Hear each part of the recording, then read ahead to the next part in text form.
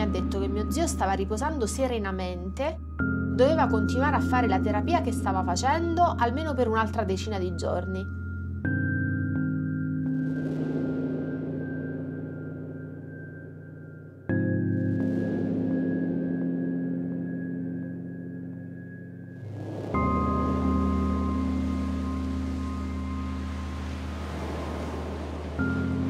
Dico i dieci giusti della Bibbia, ma se una persona in quei cinque giorni si fosse alzata e avesse detto ma cosa stiamo facendo?